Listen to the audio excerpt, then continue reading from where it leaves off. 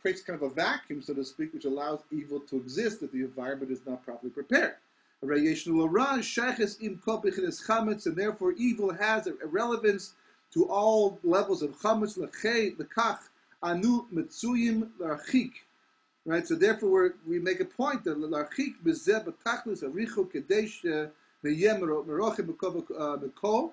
Uh, we make a special point during the week of Pesach to distance ourselves as much as possible from chumetz, ma sheyesh lo sheiches a love to any chumetz a shach the person and to the koichet of gvura ki bezen niyem ruchakim emenu mekol v'kol kedei shelo yizachez banu v'yinachas v'sham mi oisa ha'ara. Now, so our job is to clean the houses, especially after Purim, with all the mishloach manos that gets spread all over the place, right? For some reason, people insist upon giving, Uh, you know, vafalim for Purim, which means that there's a good chance that, especially if you start cleaning early for Pesach, that you'll have tiny little crumbs all over your house at some point in time, at some place.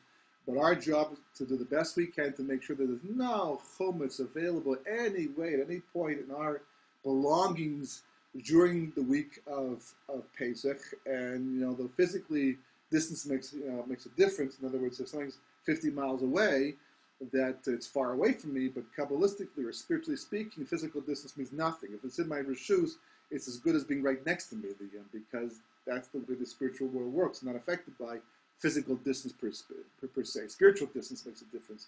And uh, we make a point of being spiritually distant from Chumash during the week of Pesach because we did not leave Mitzrayim properly.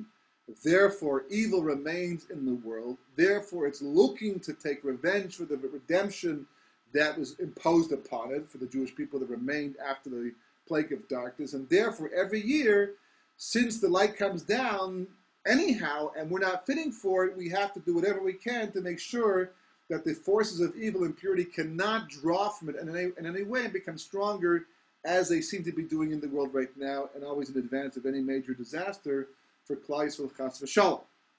So uh, he says, right? Kadesh lo yiskaneh v'shalo yiskareh banu. So therefore, this way, by having no chametz in our, our belongings, our house, that the the koiches of tumah should not be drawn after. It's desirous, like you know, with a taiva, with a desire right? That's the meaning of the pasuk where it says, "Lo tochal alav chametz shivas yamim." You shall not eat chametz all seven days. Ki bechipazon uh, yitzatim mitzrayim, because you left bechipazon from Mitzrayim. Lamar, what does this mean? Ki meshum